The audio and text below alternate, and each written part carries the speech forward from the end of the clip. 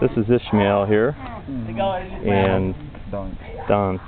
He's been our driver, and he does all kinds of things here. Yeah.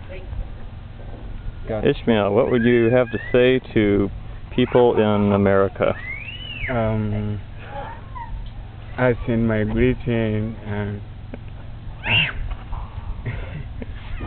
I want to say uh, we thank you guys for what you uh, you came to do here.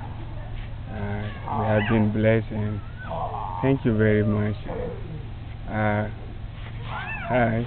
Would you like to say anything, Don? Yeah, a lot of things, you know, I really appreciate your coming. It's really a blessing to us, especially me, because of a lot of things you guys impact in us.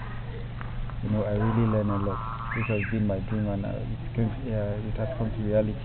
I'm now seeing it come true, you know, through you guys. And it has boosted my, my, my, my spirit that will stand up and do it right. The way it's supposed to, because I was kind of there's a fear in me that I think maybe I will do the wrong thing, but with the understanding I have now, I think I can stand up there and do it. Out there, I really, I should. i I'm thanking the Americans for bringing you guys to be a blessing to our lives. And the only thing I can say is thank you and keep praying for you guys for more. Yes, what you've impacted us will not go in vain. So really need to Yes. put it into practice, and you Yeah. will be happy.